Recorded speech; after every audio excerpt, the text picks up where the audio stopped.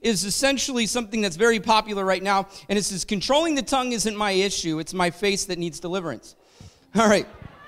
So, so like, uh, just thinking about this for a minute, okay? Thinking about this for a minute. Now, I know that we're talking about the tongue this morning, but, you know, how many of us have had to bite our tongue and keep ourselves from saying something that we shouldn't say?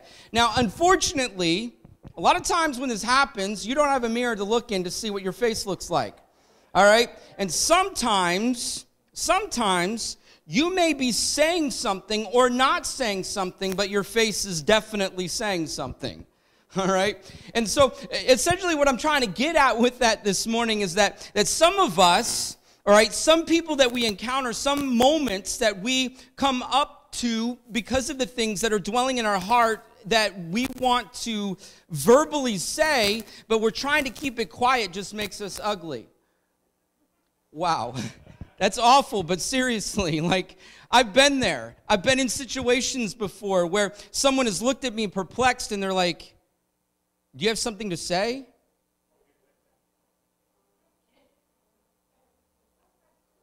You know, and then you're just like holding your breath. You're like, Okay, I can do this. I can do this. And, and the point, though, is this, okay?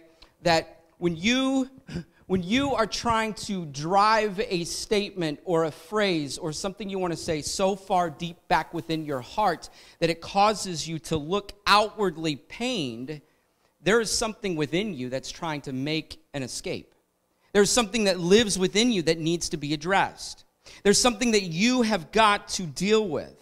Now, let me say it like this there's a voice behind our tongue, and it's, it's a voice that speaks the language of our heart.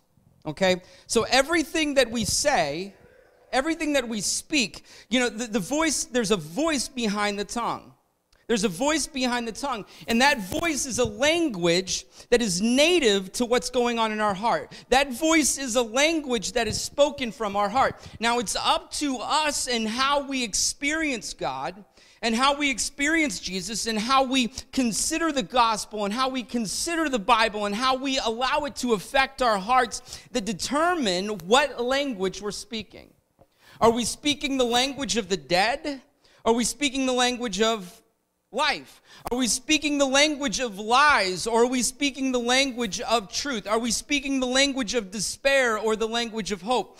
It depends on what exists within us.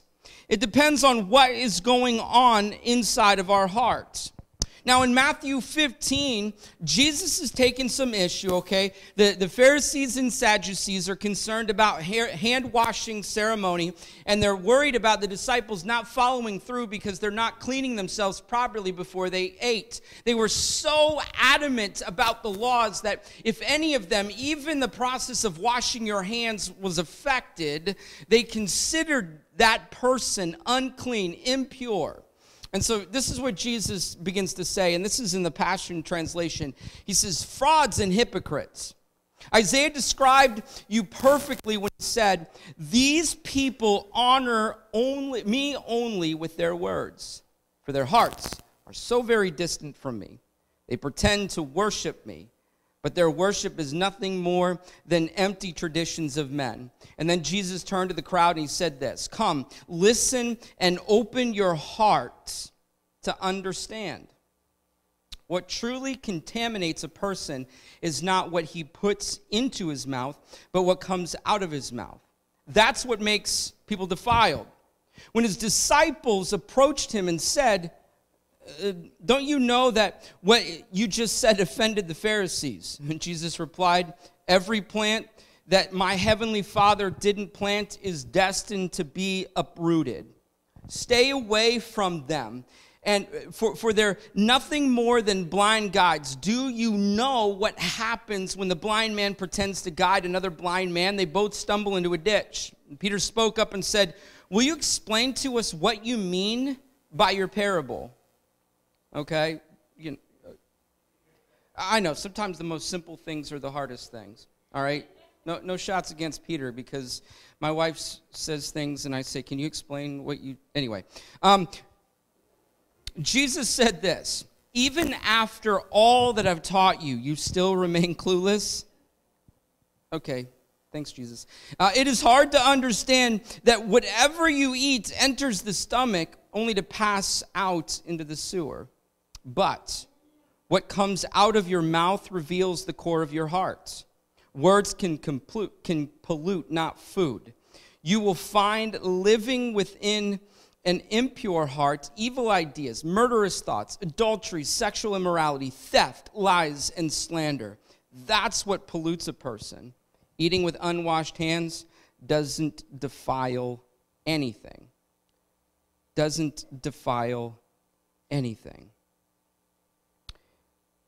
So, there, I mean, there's so much going on here. Just referencing verse 8 for a minute, though, um, in the Passion Translation, he says, These people honor me only with their words, for their hearts are so very distant from me. He's addressing the heart. He's getting to the heart of the issue. He's beginning to see and, and point out the fact. I mean, these guys were eloquent. These guys knew things. They knew the law. They were taught the law. They followed everything very specifically. They followed everything very clearly. They made sure that what they did outwardly reflected what they were learning. But we find out in this, in, in Jesus' interactions with them, we find out with Jesus' moments with them, and he begins to he begins to point out the fact that there's something else going on within. There's a very real issue inside of them. And that very real issue is the fact that they give lip service, that they say things, they say things, but their hearts are distant. They say things, but their hearts are distant, meaning that the words that they speak, the words that they say, the things that flow out of their mouth are an indication of what's happening within. Even if the things that come out of their mouth appear to be pure, appear to be holy. Yes, we can begin to, in some senses, um, begin to change the way we phrase things. We can, in some sense, say the right things, but still it's meaningless. We can say all the right things. We can know the jargon. We can know the terminology. We can know exactly what we think needs to be said, and we can say those things in those moments, but they are worthless because, I mean, when they truly reflect our heart, they only reveal how far we are from God. In verse 18, just referencing that again, Jesus makes the statement, but what comes out of your mouth reveals the core of your heart. Words can, can pollute, not food. What comes out of your mouth reveals the core of your heart. The things that are said reveals the core of your heart. Let me phrase it this way. Words, just referencing back to the thought I made earlier, words are the language of the heart. And if it's true that our words are the language of our heart, then we need to be taught a new language a language that can only be discovered through the transformative truth of the gospel. Okay? Words are the language of our hearts. Words are the vo- our words are an indication of what exists within. And if that's true, if that's true, then the words that we say, like I was just mentioning earlier, the words that we say are an indication of what's going on inside of us. It reveals the core of our heart. And if we're going to learn a language that glorifies God, if we're going to learn things that, that find expression in ways that honor His name, that, that declare who He is, that, that have a powerful and significant effect in the right way, the way that brings us closer to Christ and brings other closer to Christ, then we need to learn a language language that can only be discovered through the transformative truth of the gospel. Because the gospel changes our soul, the gospel changes everything within us. The gospel becomes the terminology that we use. The gospel becomes the words that we speak. It's the truth. It's life. It has meaning, has purpose. You know, we can we can say some pretty cool things. We can say some pretty nice things. But we've got to understand that everything that we say is attached to something. Everything that comes out of here is an indication of what's going on in here. And I know that, that you know, this, this this is something that we hear about a lot. This is something that the Bible speaks of. This is something that Jesus declared and the Proverbs declared and the Psalms declared. But it is so important for us to realize that we need to begin to deal with what's in here if we're going to address what's coming out here. Because you can say things, but not mean them. You can say things, but not mean them. Listen to this statement, okay, or these statements. You cannot separate your inward voice from your outward voice. You cannot separate your outward voice from your inward voice. It's like this cyclic experience. You can't separate the two. You can't separate your inward voice from your outward voice. The voice that speaks within is going to speak without. The voice that is inside of you is going to speak outside of you. And just as much as the voice that speaks out of outside of you can, can defile things around you, it turn in turn defiles you. Do you, you see what I'm saying? Like the things you say affect here. The things that happen here affect what you say. It's like this this you know, it goes back and forth, back and forth, back and forth. You know, that, that, your heart is corrupted, your heart is affected, and you just say things, and then those things come back and haunt your soul and affect your heart. And then, and then you know, you, your heart is affected by what you say, and then, and then what you say is affected by your heart. It's this terrible cycle that just continues to move and move and move.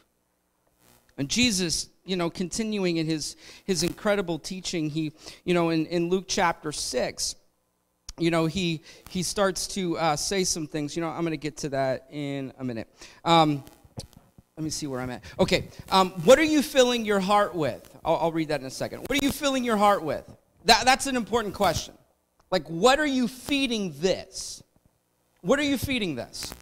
I want to read a scripture in a minute here, but, but let's stick here for a second. What are you allowing to come in here? Because what you allow to come in here can contaminate everything about you.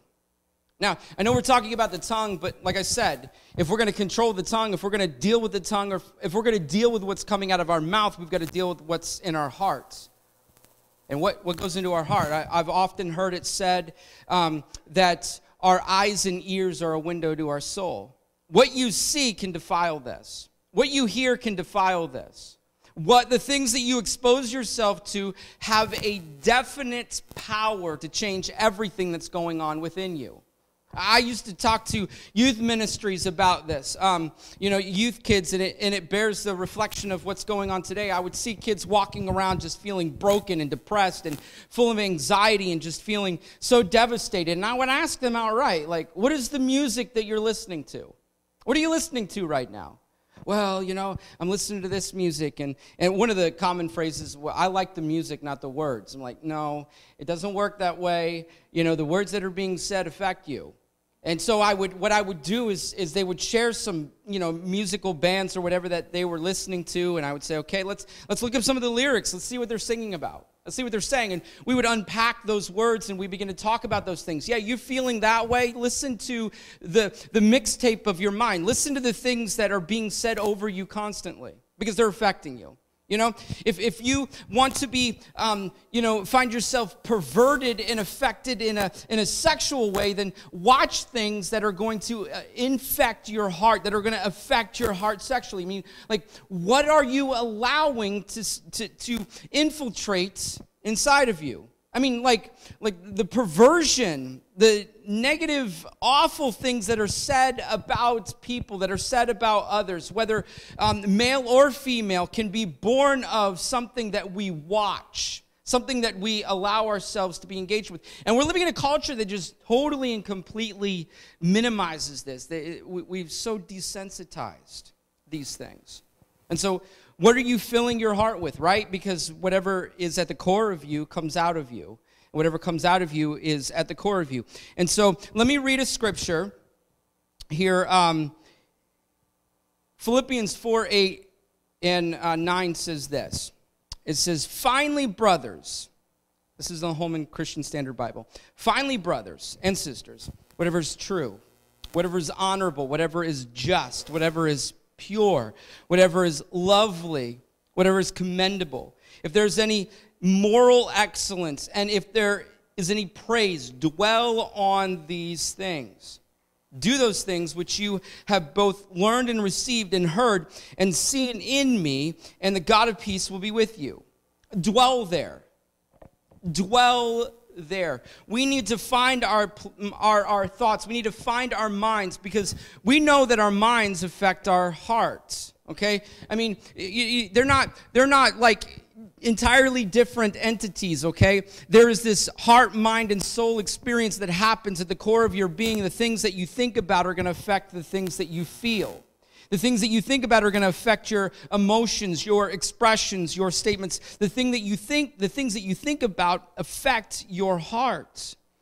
And so in this text, you know, it, it's talking about all these different things, all these different realities that can can affect us. Okay, so um, there's so much to unpack here. There's so much to think about here. But whatever is true, Think of the truth. Think about how our lives can be conformed to the truth. Think about the truth that God speaks of. Think about the Word. Think about Scripture. Think about what Jesus did for you. That truth. That truth that conforms all things, that changes all things. You want to begin to affect what's in your heart? Think about the truth.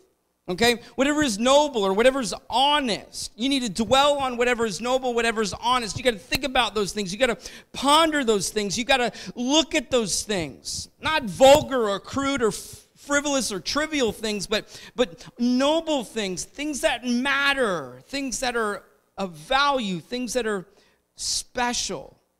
All right? Not things that you find in the gutter. Whatever is right or whatever is just. All right? I mean, like, like thinking about things that cause you to not mock, things that you think about that cause you to not stand back and say, oh, well, you know, I'm just going to, you know, look at this this junk that's happening around me and whatever. I don't care, you know. Um, it is what it is. Our world's going to hell in a handbasket, and it's just whatever, you know. I can't do anything about it. I can't address it. Now we got to think about the things that are just. We got to think about the things that are right. When we think about those things, it begins to affect our hearts. We got to focus on the pure. These guys, these are self-explanatory. We got to we got to focus on the pure. We got to focus on the pure, lovely things things that are things that are beautiful.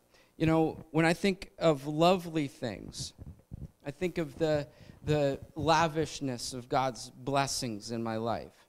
I think of the things that should captivate our attention when we walk outside and see the sun and see the trees and the mountains. I think about the breeze that hits us on a cool day. I think about everything that we're probably going to experience on this low humidity, nice, warm day. Those are the things that are lovely. I think about the lovely things of God. I think about the blessings He has brought my life. I think about my family. I think about my wife. When we focus on those things, it evokes something within us. It evokes something within us and it begins to change. Things that are admirable or good report or praiseworthy or appealing, whatever is worthy whatever's whatever's of you know again these are self-explanatory. What you know um, he's talking about our deeds and our thoughts that that by their very nature move people in admiration and praise. Virtuous or excellent whatever's excellent. Think about those things. Whatever is worthy of praise God Himself. I, just, this, this last one, considering this last one for a minute, whatever is worth our praise, whatever is worthy of praise. You want to start changing something that is happening in your heart, praise and worship. You know, praise and worship is, yes, there, there's, there's a significant setting of, of praise and worship being um, in the church. And, and I know that, that praise and worship or worshiping God is also a decision that you make with your human body and, uh, you know, giving to Him and serving Him. It's not just about singing songs, it's about giving money. It's about, you know, sacrificing your life and serving Him and, and responding to His goodness and doing what He asks of you. That is definitely worship. But there is a vocal part of of praise.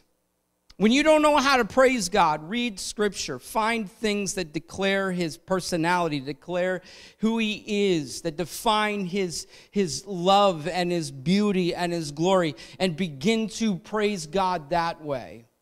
You know, not seeking a self centered song just because we want to feel better. Nothing personal because I know that I do. I just want to feel better, so I'm going to find a song that makes me feel better. No, no, I'm talking about praising God and considering the things that make Him great. When you put Him at the focal point of your life, it will begin to change everything within your heart. It will begin to change everything about what's inside of you, what's happening here. Praise God, praise God, praise God. It alerts your attention. And you know what? Man, you're driving down the road, put some songs in, and who cares how foolish you look to the car next to you? I mean, just sing it out. There are moments in my life where I have a lot more moments than, yeah. There are moments in my life where I've got up in the morning and I'm like, oh, I can't do this today. All right? Not today. I can't adult. I want to go back to bed. I don't want to address this. I don't want to have to deal with people. I don't want to have to deal with situations. I don't want to have to deal with my own kids. I love you guys. I'm sorry. All right? I'm sure they wake up sometimes and think I don't want to have to deal with my dad. Anyway, um, not really, because I'm perfect. I mean, let's be real here. Um, why are you laughing at me like it's funny? but but no, I, I, get into the, I get I get into this mode. Like I get up and I'm like, okay, I, I'm I'm moving through my day. I'm gonna you know I'm gonna work out in the morning, so I'm gonna get myself in a place where I'm just like where energy is is increasing, and and I put my um, headphones in and I start listening to music that just uplifts my soul, music that brings my attention to Christ music that, that makes me focus on God, and it begins to change the, the, the position of my heart.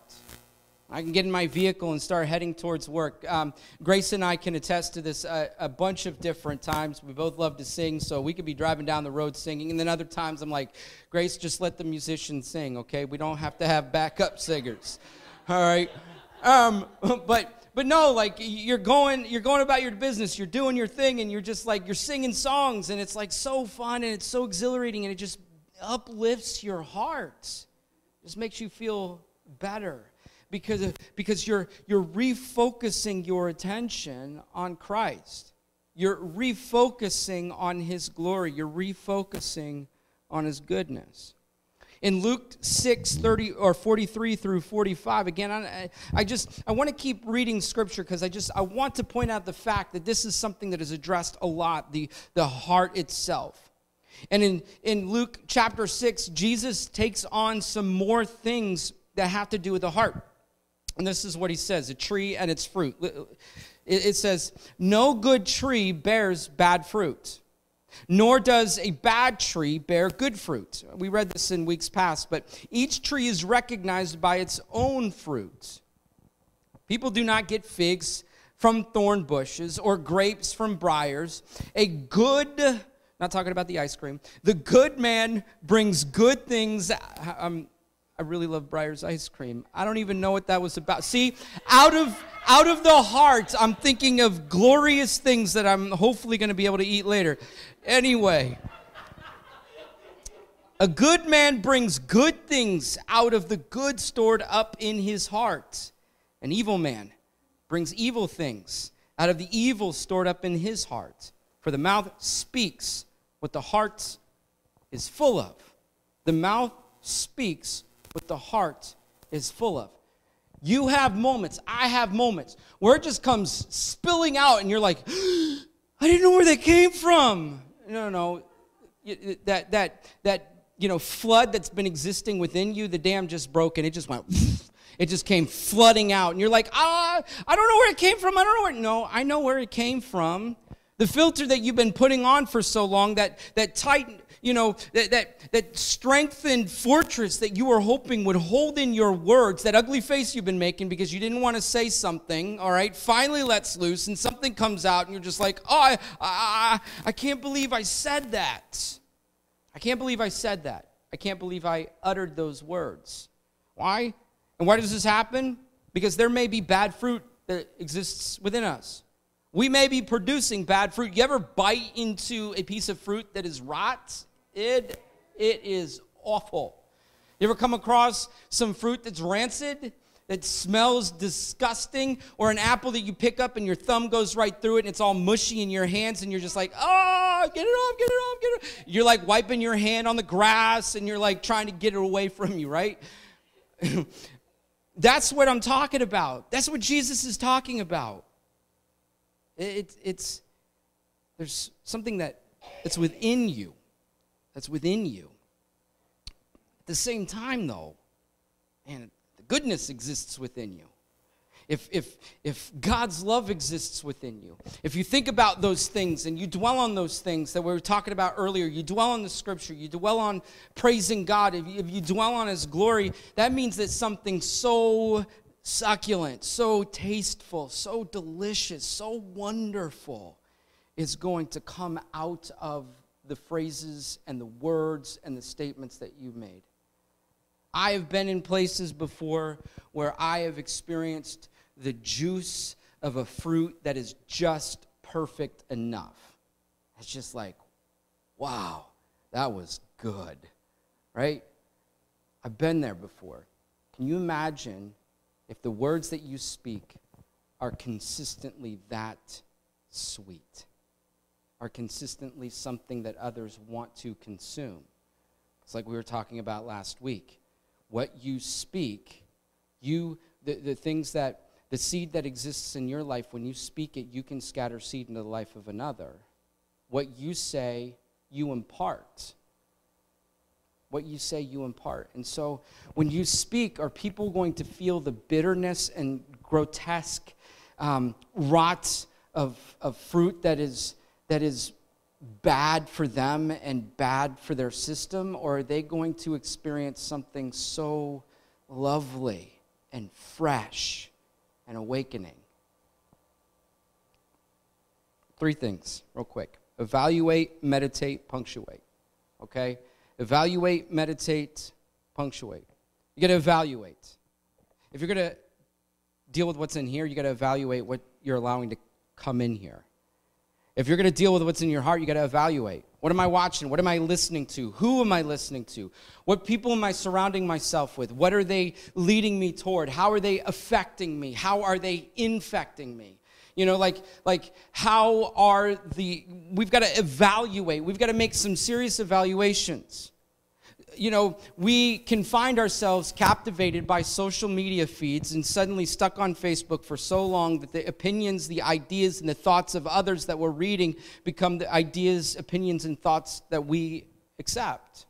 We've got to evaluate. Not only do we got to evaluate what we're allowing to come within us, we got to evaluate what exists within us by God's grace and His help through His Holy Spirit, we got to begin to evaluate is this good or is this bad? Do I need to have heart surgery or not? Do I need to deal with this? Do I need to ask God to come inside of my heart and with a precious and kind and loving, like a surgeon, begin to separate things that are caustic and dangerous and awful to my existence and to my heart and begin to deal with them? Why? Because we have got to deal with those things. If we're going to say things that are beautiful and lovely. If our words are not going to be the sticks and stones that break and wound and devastate, we need to evaluate what we're taking in and what already exists within. We've got to meditate. Meditate, meditate. The Bible, the Bible, the Bible. You know, the Bible is the answer for so many things. The Bible is the answer for everything. What's, what's captured in the Bible leads you closer to God. What's captured in the Bible reminds you of who Jesus is. What's captured in the Bible, you know, just, just conjures greatness of the Holy Spirit within you. What's captured in the Bible, we've got to meditate on it. We've got to think about it. We've got to consider it. We've got to memorize it. We've got to allow it to, to just, you know, exist. Like, read a, a Bible verse and just chew on it throughout the day. Like, read something and just allow it to affect you all day long. Meditate, meditate, meditate. Think about it. Don't be afraid to, yes, read other things, but like you could read a whole chapter of scripture. And uh, at the end of it, you're like, okay, there's some cool stuff that came out of that. You know, that, that was good. Um, you know, but then the next day, you're like, I just feel like there's more I can learn there.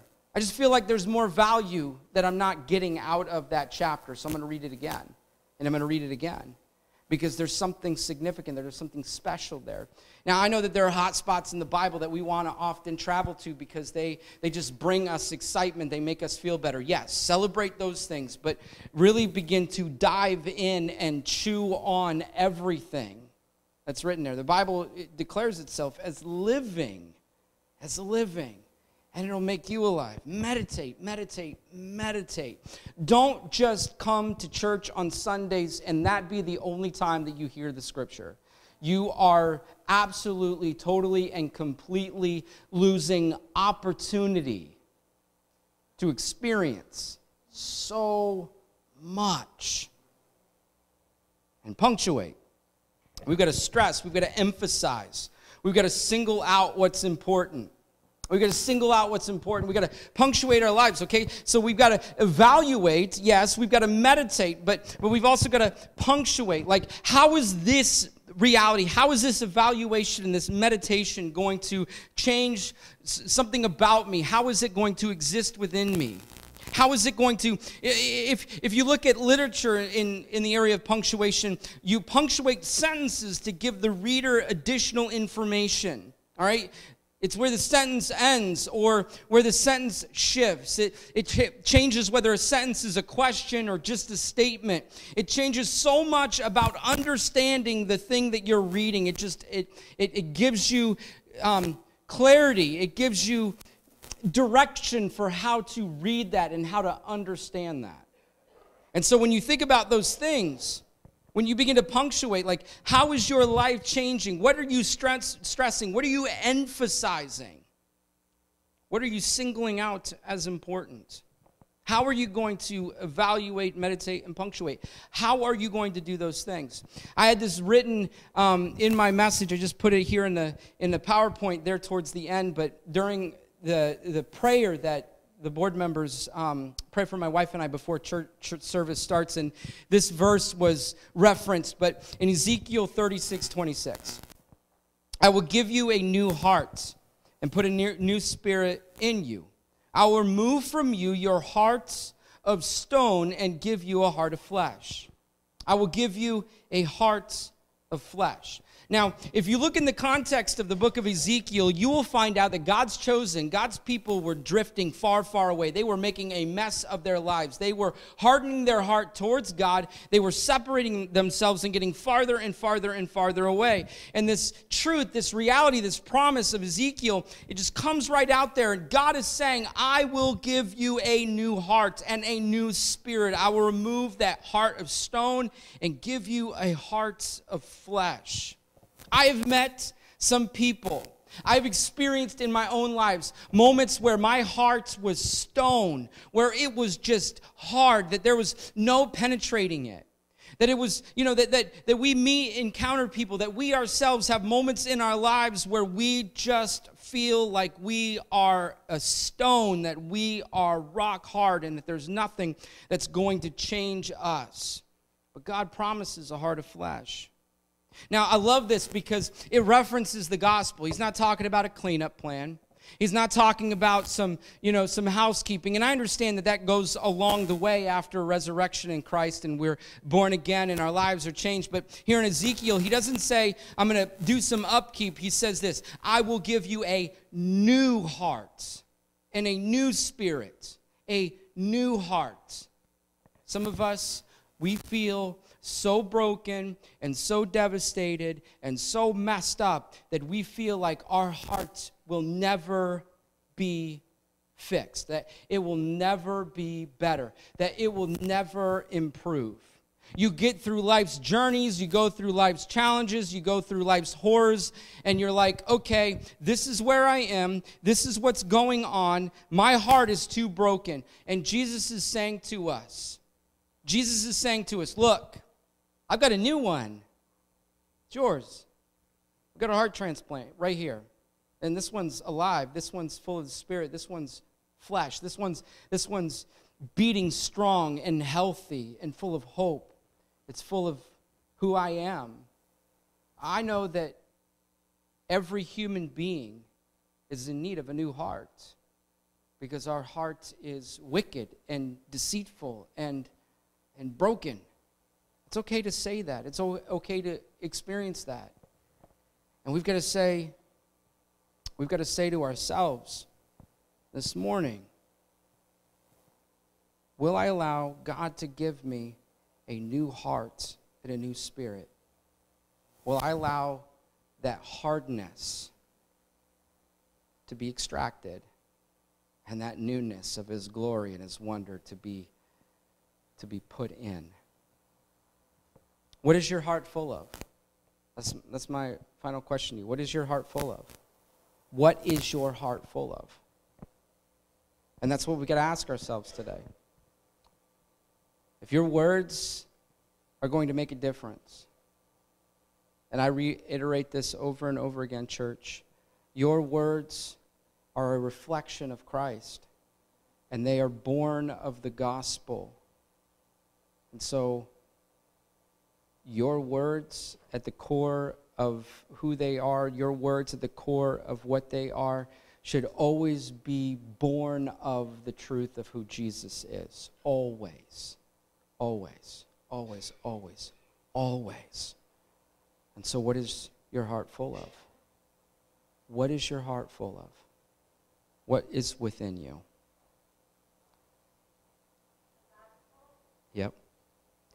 The Lord wants to give you a new heart. No, that's good.